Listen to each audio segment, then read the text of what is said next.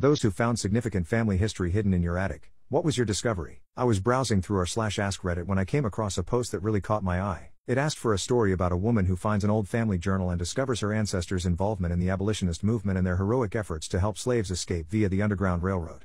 This discovery inspired her to take up the cause of social justice in her own community. My great great grandmother was born into slavery, owned by an elderly man who treated her almost like his own daughter, even allowing her to go into town without him or anyone else watching over her, which was unheard of at that time.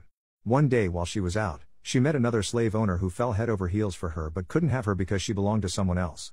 He promised he'd buy her if he ever got the chance, but sadly it never happened as his master passed away before he could act and all his wealth went to charity instead of being inherited by anyone else. Years later, my great great grandmother gained freedom and married a white man named John Smith, no relation. They had two daughters, Elizabeth, my grandmother, and Mary Jane, my mom. Growing up, they were poor, but John made sure there was always food on the table and prioritized their